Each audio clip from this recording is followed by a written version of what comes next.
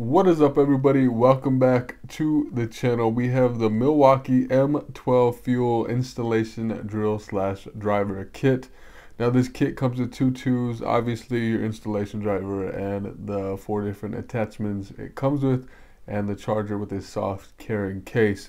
Now this is a new promo going up guys. Um, it's not the first time we've ever seen this. Uh, we've seen it in quarter three for a little cheaper than we're going to see it today but nonetheless uh, still a pretty good deal. I would pick it up for this price. I think it is fairly priced um, for $229 kit. We're to be able to get it for $135 i think. Might be 138 i forgot the price. I need to look at it. Anyway guys so you buy that installation driver kit and you're able to pick one of these all right? You get one of those free.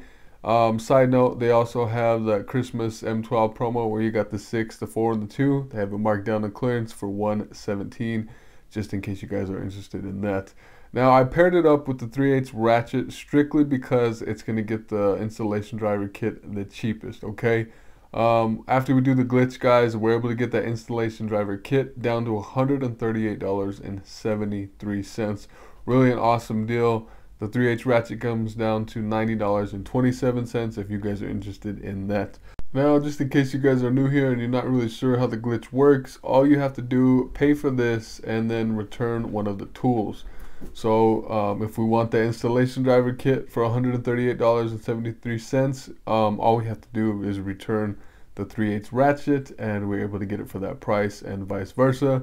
Say we want the ratchet, all we have to do is return the the installation driver and we're able to get that ratchet for $90.27. So uh, again, not Recording the cheapest we've seen it. Hold up, that was my class. Class started. I'm in class right now, y'all.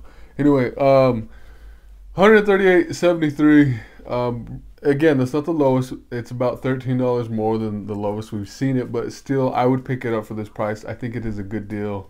Um, so if you've been needing it, you've been holding out for it, um, you, now's your time. Maybe you want to jump on it. Maybe you want the ratchet.